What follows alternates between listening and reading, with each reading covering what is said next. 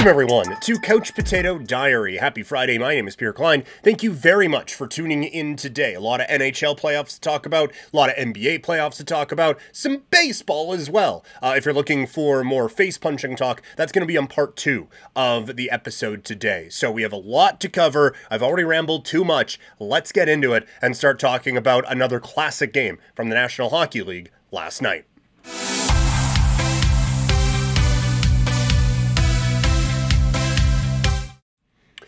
The Edmonton Oilers with another impressive performance, this time against the Dallas Stars in Game 1 of the Western Conference Final, winning 3 2 in double overtime, uh, thanks to a game winning goal from who else? Connor McDavid. And he was excellent last night, and the whole team was really, really impressive. I absolutely loved what I saw from the the Edmonton Oilers in this game last night. And look, like I, I know, I, I said um, I put the clip out on social media yesterday um, that I, I felt that the Oilers were going to have to play perfect to beat the Dallas Stars. Some of y'all got real upset about that. Um, and oh well, how did this go? It's like I don't know one game one in double overtime, man. Like I, I still think the Dallas Stars are a pretty good hockey team, uh, but Edmonton looked like a very good hockey team as well. And it all starts with Connor McDavid, who was excellent in this game. He factors into everything, um, setting up the the first goal, setting up the second goal, scoring the third goal that ends up being the winner. But he had complete control of this hockey game, and he's going out there against Chris Tanev, and that is not an easy matchup to win, and most don't. But he was great. Like I said, he scores the winner. Really good setup on that first one coming off of a penalty kill. Um, where like the, the, the penalty kill was great again for for Edmonton in this game. Um, sorry, say hi to Shiloh. Say hi, Shiloh. Hey, Shiloh. Um, sorry. Um cat sitting am i right but no like he he was he was great and like that that first goal coming off of a penalty kill where they're they're building up some momentum you put him out there you, you bring out the the mcdryman line and they dominated and he ends up setting it up where they're able to, to get that goal. And this is coming at a time where they didn't have a whole lot going on. This was uh, a couple minutes into the second period and they had three shots and uh, that got them going. And then a quick counterattack on the second helped set up a, a zach hyman goal and then he ends up scoring the, the overtime winner. And when you look at it for connor mcdavid this could be a legacy defining series for him. He hasn't made it past this point. He is facing an excellent team in the Central Division champions. If he can lead this team into the Stanley Cup final, this will be one of the defining series, at least in this part of his career. Um, and, and one of the ones that, that we remember him for. Um, and I, I do really think that this is a, a, a, really, really big moment for him. I was on 960 today, um, and they asked, like, does he need a Stanley Cup to to, to cement his legacy? And like for most guys, no. Like, but there, there is an area that he wants to be discussed in, or that he, he's going to be discussed in, where you kind of need a little bit of bling to make your way in. And um, if he can if he can lead them there that this is just this is going to be one of the ones that he gets remembered for. But it wasn't just connor mcdavid. A lot of the depth pieces stepped up. You have Foegele with the breakaway chance where he kind of stick handled his way out of it but I, I, thought Foegele was fine. Um evander kane i thought was all around the puck in this one and and really stepped up in that way um you, you have evan bouchard and ekholm come in and they looked really good again in this game. It was all systems go for the Edmonton Oilers. And quite frankly, in a game where I thought that um, Dallas entering it was the more complete, more balanced team, Edmonton looked like the more complete, more balanced team, and that that was able to th- that showed up in them eventually getting the edge in shots and eventually getting the edge on the score clock. And then also, um, it was Skinner who stepped up in a big time way as well. And I thought he had a huge game. He looked he, he looks back. He looks back to normal. He looks comfortable between the pipes. He made some key saves and um, he was able to, to stay composed when the puck beat him. It hits the post, it comes out in front. If he is back to normal and if he is back to being able to maybe stealing games, I'm not going to say he stole this one because I do think Edmonton was the better team. Um, but if he is capable of stealing games, then this team really rockets forward and comes up in a, a, a like conversation as a, a, a, threat and a favorite to win the Stanley Cup. It's just, it's so much fun to watch this team play, right? Now, On the Stars side, Heiskanen, um, he was buried in game one, or buried, if you actually like to say words correctly. Um, 14.7 expected goal percentage in game one. And if that's going to be the case the whole series, they, they are just, they are simply going to lose. If Miro Heiskanen is getting just throttled in that way, then this is going to be a very quick series. For Edmonton to win the Heiskanen minutes so aggressively is a gigantic win for them. And look, I'd be surprised if that was the case the rest of the way, but they need him to step up because he's not even getting the McDavid minutes. No, it's it's he's not even getting McDavid. He's just getting Draisaitl, um, which is how, how insanely talented the, the top part of this Oilers lineup is. But for for the Draisaitl line to bury Heiskanen in that way, and then have McDavid go up against Tanev and Lindell, and they, they won that too, uh, not by as wide of a margin, but it, they, they they ended up winning those minutes five on five as well.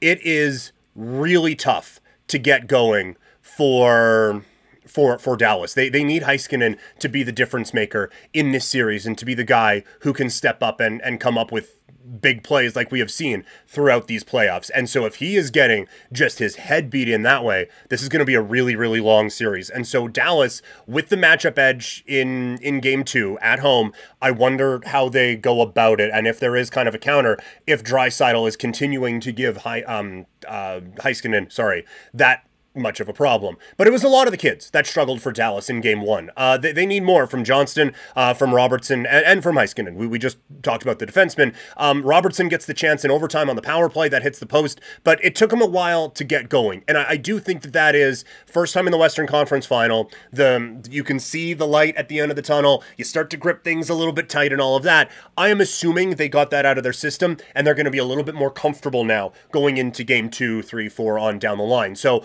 I am am expecting Robertson to be a little bit better. I'm expecting Wyatt to be a little bit better as well. And for, for the Stars team, just in general, to look a little bit more comfortable out there in game two. But the Vets, they had no problem. Dadonov stepped up, Benn stepped up, Seguin stepped up. That cycle game that they were able to play was just simply tremendous all all game and they're going to be a real key going forward. If they are able to continue to do that, um, and the kids start to get going, again, that's going to provide a bit of an issue for Edmonton. But the, the Oilers countered in a way I wasn't expecting, and they looked really, really good. We'll see if the vets can can kind of keep it up. Pavelski also, I didn't mention him in there, but Pavelski I, I thought played a good game, and then Oettinger was just fantastic. He he can really steal games in this series, um, and it seemed like he got better as as the game went on. This was such a fun hockey game, and is going to be. So such a fun series to pay attention to. Um, I, I can't wait to, to watch game two. I already wish it was tonight. Like, I, I wish it was over so we could just binge watch it right now. That, that's how good this was, and that's how excited I am for this series. But alas, it has a day off, and we get ready for game two of the Eastern Conference final. I think the Rangers will be ready for the Florida pace and strength in this game. I think that that kind of caught them off guard in game one. And again, the moment although this is a bit more of a veteran team, the moment did seem to get to them a little bit, but they they seemed a little bit overwhelmed by how the Florida Panthers played. And I do think that they settled in a little bit, but the turnovers ended up costing them. I think they're going to be a little bit more adept and a little bit more prepared for what Florida can throw at them in this game. And again, I was on 960 earlier today, and uh, Patty Dumas asked me about the potential for Rempe to come back in the lineup just to provide a little bit of spark that the Rangers seem to be missing in game one a spark that I think was stolen by the Panthers in that game. I thought they came out and kind of Uno reversed them and were able to take it that way. Um, I do think that would be overreacting a little bit, and I think it would be playing into the Panthers' hands. Although we have seen out in Calgary, and we haven't seen it a ton with Florida, but you, you see the Blasty jersey behind me if you're watching on YouTube right now. Um, you can get Tkachuk out of his mind in the playoffs a little bit. And if Rempe is able to do that, then it does turn into advantage New York. But we've also seen Rempe isn't the most effective hockey player out there. And this Florida team is rather deep, and their depth guys came to play in game one. So you, you can't afford to just lose minutes just for the vibes, man. So we will see how we'll see how that goes. Also, from a Rangers standpoint, I am expecting Shesterkin will probably be better in this game. Again, he wasn't the reason they lost. I just think he'll be better. Like he he played a very good hockey game, but the two goals are on him. Um, he just whiffed on the Matthew Tkachuk one, and then a bad turnover uh, leads to Verhaeghe banking it in off of Lafreniere he needs to be better in this game. I do think he will be better in this game. And for the Rangers offensively, they need to figure out the Florida Panthers D zone coverage. They clogged things up so well in game one. The Rangers really couldn't establish a whole lot in the five on five or even on the penalty kill or, or on the power play, sorry, for that matter. Uh, Florida's defensive game plan was exquisite. Um, Bobrovsky was good in game one, but you saw he was getting a little all over the place. I would expect the Rangers will be able to cause a little bit more chaos for him, and maybe that is where Rempe comes in. Um, but I would expect a little bit more chaos in front of Bobrovsky here in game two, and maybe causing a few more problems for him and trying to open things up that way. But like for Florida, like we talked about like game plan wise, what the Rangers need to do. That's because Florida played damn near a perfect hockey game. So just control V or control C, control V, and move this one into to game two because I, I thought they were tremendous in this one. That this should be a really, really fun game tonight. So that's the story from the National Hockey League. What about the association? Uh, the Eastern Conference Final took a major hit last night. Let's talk about it. The Eastern Conference Final is now done with two games, and quite frankly, that could be the halfway point of this series after what happened last night. The big news from Game 2 between the Indiana Pacers and Boston Celtics is that Tyrese Haliburton is hurt, and if he is hurt for an extended period of time, then this series is over. Um, it's such a bummer because Haliburton was just getting back into it and just hitting his stride, and you could see that the joy he has in his game and the the, the the skill that he can play with and how much that elevates everyone around him. That is it's such a hit because he is so much fun to watch. And like I said, what was just starting to get it going. You did see Pascal Siakam step up last night, but if there's no Haliburton, like he just he and the rest of these guys just can't keep up. Boston, I thought, had a much better game plan for game two, going after Myles Turner. Um, Siakam still absolutely took advantage of them at times, and he's going to do that because he is still one of the more talented players in the NBA. Um, he's electric uh, as an offensive player, but as the number one focus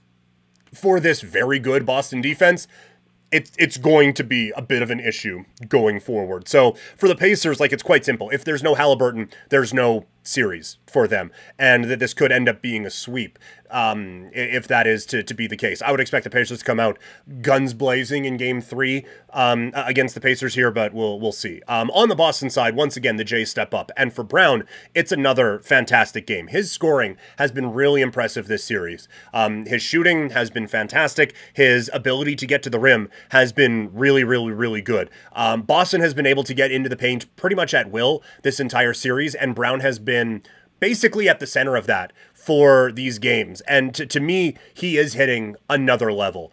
Um, and look, it, it is not coming against the most resistance. While the Pacers are one of the more dynamic offensive teams we have seen in the NBA in quite some time, defensively, ugh, need some work. Um, and Boston is one of the better again offensive teams we've seen. So it's it's a tough matchup, but it, it is showing that Brown does have that other level to his game, and I, I have been so impressed. And look, I, I am not a member of the Jaylen Brown fan club. I thought when Tatum was hurt in the the, the NBA Finals a couple years ago um, that he needed to step up and he didn't, and I thought last year um, they needed Brown to step up and he didn't, but now he is, and it, it's it's been really quite the thing to see for Boston as well, you get Tatum now finding his stride in the second half. He, he really found out that he could get to his spot, which is that free throw line jumper, basically anytime he wanted to. And he did, and it, it really started to, to fall. And you think about it, the fact that he's basically had one good half in the first two games of this series, and they're up two zip, that is fantastic news for the Boston Celtics and is really, really, really impressive. So, um, that this has been this has been a, a, really fun series. And I think for Tatum, there is a lot of criticism on him because they needed Brown to, to kind of bail them out in game one. Um, and I'm not saying, oh, no, no, no. Everyone has it. I'll just back off. It's fine. But he is one of the few stars that at least seems like he is comfortable playing a secondary role if he needs to. And it's getting Brown going. Holiday has been going. White has played all right offensively as well.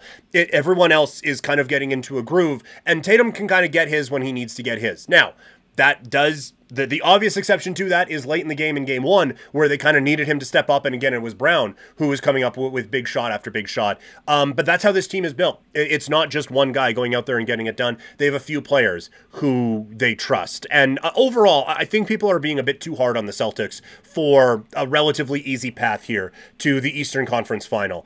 Yes, that this has not been the most resistance faced with Miami, Cleveland, and now Indiana. Um, the, the East, it, it, turns out, like with the injuries that we saw again to the Knicks, to the Celtic, or sorry, to the, the Bucks, and a little bit to the 76ers in Embiid trying to work his way back. Um, all the top teams in the East just kind of crumbled around. And so it has been relatively smooth sailing for the Celtics so far. But I, I do think, like, when you look over at the West, who would you have favored over the Celtics? In the West playoffs. Like Denver, probably. Um, as it's gone on, maybe Minnesota.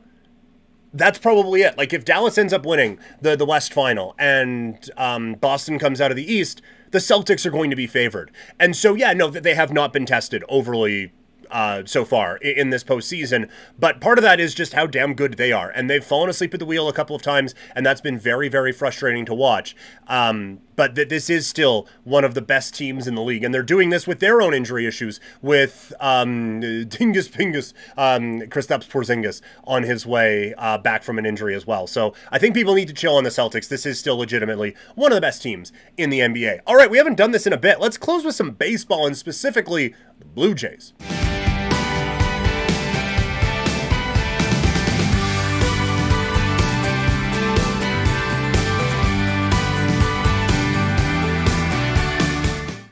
The Toronto Blue Jays uh, are hitting their stride maybe um, as they get ready for uh, game tonight against the Detroit Tigers. Um, and for, first of all, Catlin Autocast has taken a bit of a break with all the playoff stuff and everything going on, but we'll be back at it uh, very, very soon. Uh, our weekly Toronto Blue Jays podcast here on the Couch Potato Diary Sports Network. Um, but the home run jacket's back, and with it, the home runs are back. Um, I, I just I like seeing this team have fun. Um, for the last couple of years, like Kiermaier is fun to watch. Um, Vlad, when he's going, it's obviously fun. Bo, the, the, hair, and all of that. But there hasn't been as much joy around this team, and so it's just great to have the jacket back and to have this team look like they're having fun again. And obviously, the biggest part of what was lost when they traded Teoscar Hernandez and Lourdes Gurriel Jr. was the offense. Like that, that was a big hit to this team. Um, but also what was left or what lost sorry what was lost was a lot of personality with this group. And if you're going to be going out there for 162 games and playing this game and having all of us criticizing and asking why are you so bad? Um, then it, it's going to wear on you. You may as well have some fun while you're out there. And so for this team to be able to have that fun again, to be able to have that joy again, is is just it's great. And I, I don't think it's going to mean that this team makes the playoffs, but I do think it's able to get them back on track now. And I know it's been against the White Sox and the Tigers, but it's just nice to see them step up. I said on 960 today, I wasn't sure they could put up nine against the Bron- uh, the, the Brooks Bombers, who the, the, the Okotoks Dawgs are facing tonight, given how much this offense has struggled. So it's nice to see them step up, even against lesser competition. Remember, we're not too far removed from the Washington Nationals uh, beating this team two out of three. They still need to make big moves to get this team into the playoffs. And that's something I want to remind people. This start has been bad. They are just three games out of a playoff spot. Playoff spot is not the end goal just because it's been bad to start this season doesn't mean the overall expectation of the organization, the overall urgency and desperation of this organization should change. This is still a team that the goal can't just be play two games in the wild card round and exit again. This team has to win playoff games, they have to win rounds if they are going to be able to, to kind of keep this thing together. And all the talk right now about the Blue Jays being open to trading Bo and being open to trade Vlad, if I am Rogers right now, I'm not letting Atkins make those moves this team either succeeds the way you have built it or someone else is going to come in and have to deal with those moves and, and blow it up because you, sir, are not good enough to, to run this baseball team anymore. So Atkins doesn't get to make those trades. They are either good enough with those guys or they're not, and he is fired, and we try to find someone else who can either build around them or send those guys packing. In terms of the Blue Jays today, Alek Manoah gets the start. The bounce back the last couple of games has been really nice, and just overall for the Blue Jays, getting that positive momentum going has been a whole lot of fun to see. All right, that's going to do it for the show today. Thank you guys so much for tuning in. As I mentioned before, part two is going to be coming out um, a Fighting Friday. We're going to look at fights to make after Usyk against Fury. We are going to be looking at uh, King of the Ring preview and an AEW double, or nothing preview. Uh, if you're watching this uh, basically as soon as it comes out, I am on Home Team Live tonight calling the Okotoks Dawgs tonight and tomorrow. Check me out there. Um, and that's it. If you're watching, make sure you like and subscribe. Leave a comment. If you're listening, make sure you subscribe and leave a review. Follow me on social media. I am at Primetime Klein, and that is going to do it. Thank you guys so much, and I'll talk to y'all later. I'm out.